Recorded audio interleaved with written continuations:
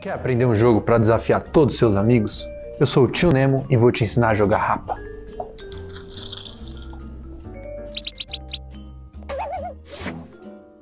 Os materiais necessários para esse jogo são fita crepe, papel sulfite, tesoura, lápis, dado e tampinhas. Para a montagem do nosso jogo, precisamos recortar, usando o dado como referência, uma tira da folha sulfite. Este tamanho, mais ou menos, está bom. Com o lápis, você anota a letra T de tira, P de põe e R de rapa. Use a tesoura para recortar individualmente os papeizinhos, mais ou menos do tamanho da face do dado. Colhe eles com a fita em três lados do dado e vamos começar o jogo.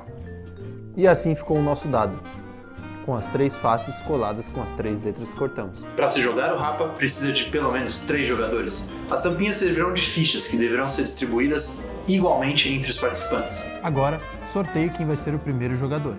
Ele vai definir a aposta do jogo se ele apostar duas tampinhas, todos os jogadores devem apostar duas tampinhas, totalizando seis tampinhas na mesa.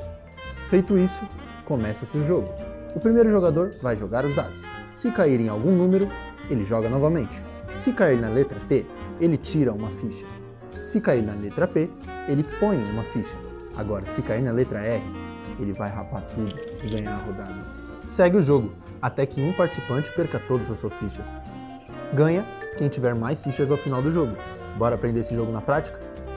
E para jogar comigo, eu chamei a tia Beijinho e o tio Zóio. Vamos tirar nos dedos quem vai começar? Dois ou um?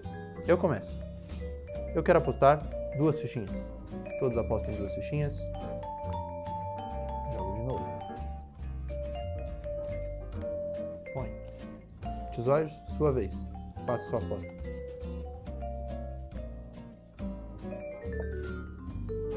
Tira uma fichinha. Tia Beijinho, sua vez. Faça sua aposta.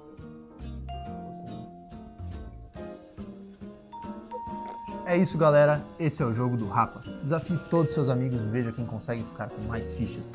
Eu sou o Tio Nemo e a gente se vê no próximo vídeo. Tchau!